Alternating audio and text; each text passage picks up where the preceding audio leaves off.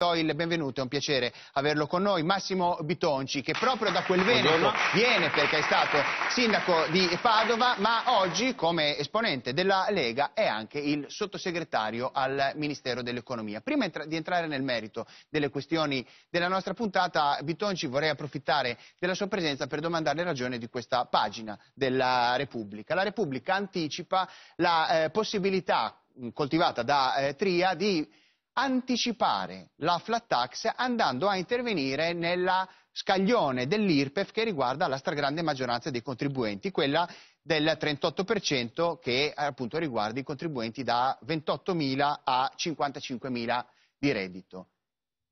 È una ricostruzione fondata sul vero? Può dirci qualcosa di più? Dare una buona notizia ai contribuenti? Ah, certamente, noi proprio ieri abbiamo avuto un incontro sottosegretari e viceministri con uh, il nostro ministro Tria e abbiamo affrontato tutta una serie di tematiche che sono sul tavolo. Ovviamente insomma, il governo ha appena iniziato il suo uh, percorso e eh, non nascondo che tra questi temi non c'è solamente uh, la flat tax sulle, sulle imprese, eh, come tutti sanno, se ne parla ormai da qualche settimana, c'è un'ipotesi sul tavolo di ampliamento del regime forfettario per tutte eh, le piccole attività professionisti e aziende fino a un limite di 100.000 euro di, eh, di, di, fatturato e questo potrebbe eh, interessare circa un milione, un milione e mezzo di partite IVE eh, con una, una, completa semplificazione del, ovviamente degli adempimenti del regime fiscale, con un unico versamento di un'imposta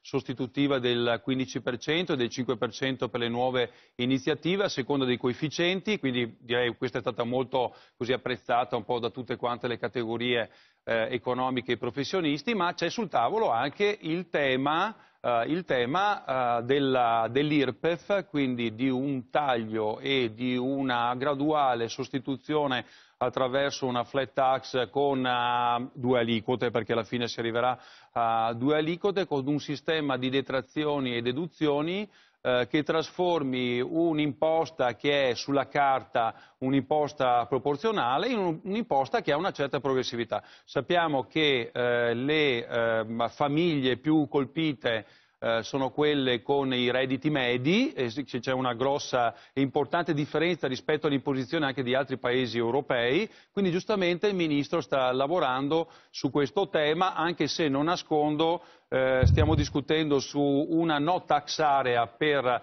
i redditi più bassi e quindi per andare incontro a tutte quelle eh, persone che hanno una, un reddito estremamente basso, una pensione bassa eh, che sono quelle che hanno una, una, maggiore propensione poi al consumo, Quindi, sono le persone che consumano di più. Se ho capito bene, un primo intervento sull'IRPEF che riguarda la fascia diciamo, del 38% per arrivare a fine legislatura a Noi quelle stiamo due lavorando aliquote. su due tavoli, uno la... per le imprese, no, no, stiamo parlando dell'IRPEF, si, del... si, si, partirà sulle sulle, eh, sulle piccole, sui professionisti e le piccole attività eh, che sono fino a un certo volume d'affari, che però è una platea molto alta perché abbiamo 4 milioni e mezzo di imprese, eh, la maggior parte di queste hanno veramente un volume d'affari basso e anche un, un basso numero di dipendenti, ma in contemporanea c'è l'altro tavolo sull'IRPEF. Allora, do il benvenuto